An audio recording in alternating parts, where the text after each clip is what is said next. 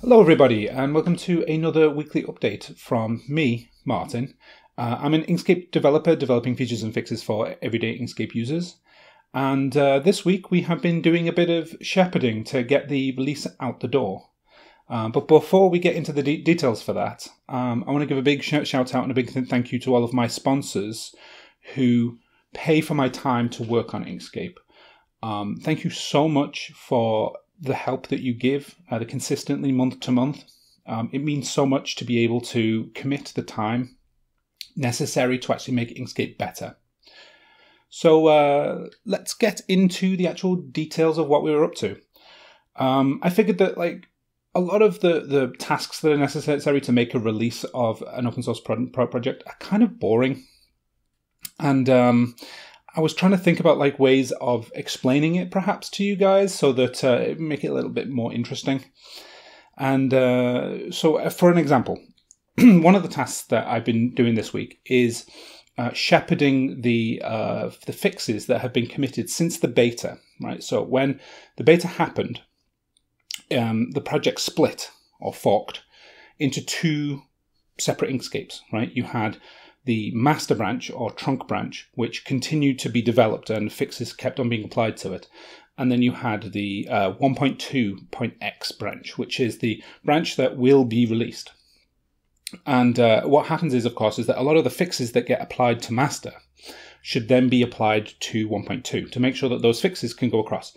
They have to be carefully vetted to make sure that those fixes don't won't disrupt things. They're not high risk, um, and also that they're important enough to um, to take the risk because it's always risky whenever you start com- committing stuff because people won't have had chance to actually test uh, the like the, the beta plus these fi- fixes if that makes sense.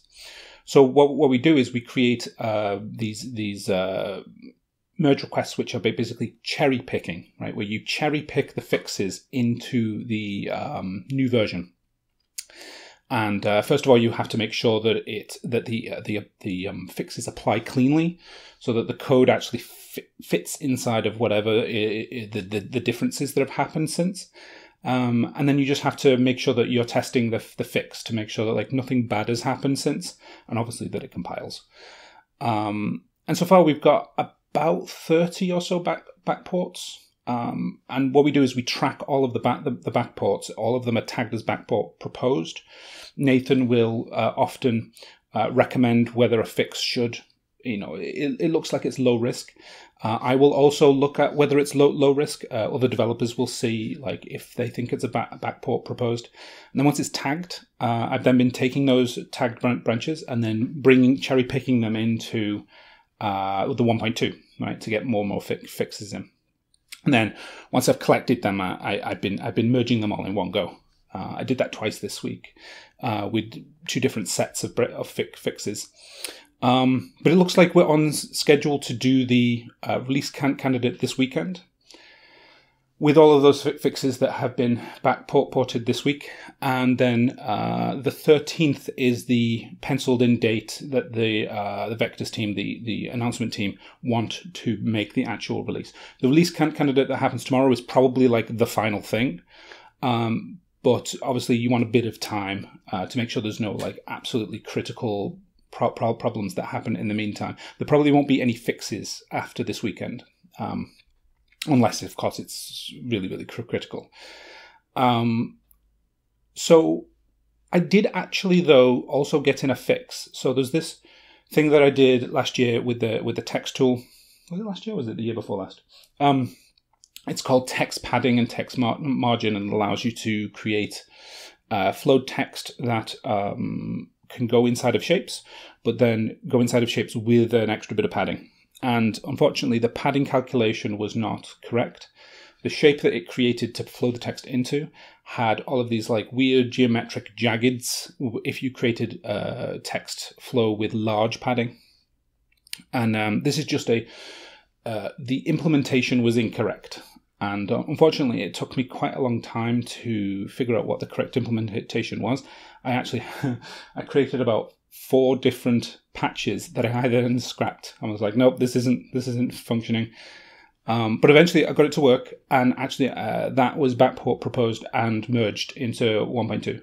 Mostly because I wanted to get it in because um, the geometric uh, problems with the flowed text would have created inconsistencies with rendering. So, like if you'd had created a piece of flowed text with padding in 1.2 and then open that same SVG in 1.3 in the future with that fix, there would have been differences, right? Because it would have generated the padding shape differently.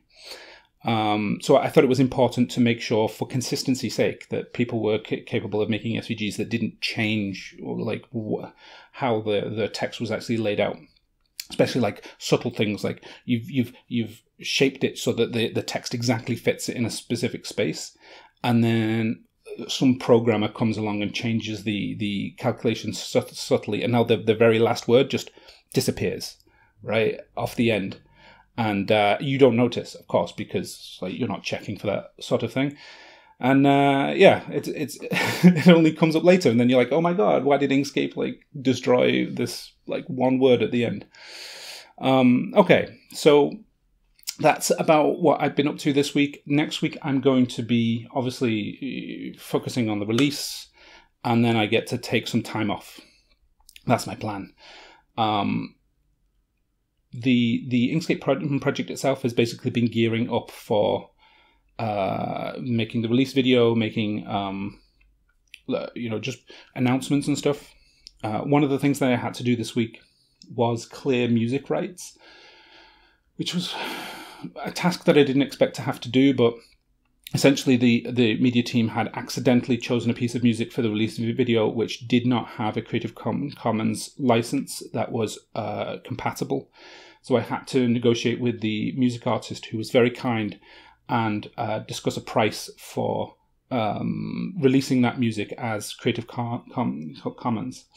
Um, so that was fine. Managed to sort that out.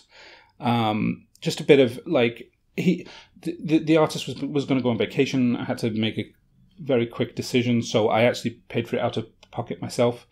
Uh, but I'm not bothered about that at all because it, it, it wasn't actually that much money. Um, but it's it's just it's just like all these little things to make sure that stuff lines up. Uh, and and with licensing, everybody out there who creates artwork, please please pay attention to licensing. It is so important. Uh, if you intend for works to be reused, uh, use the correct licensing, um, even if it takes a bit of extra reading of the terms. Uh, non derivative licensing terms are pretty much bad news because they extinguish lots and lots of use case cases that you may you may intend that some someone downstream can use, but they they can't. Um, okay, so that's about it for this week. Um, thank you all very very much for watching, and um, I'll see you all next week.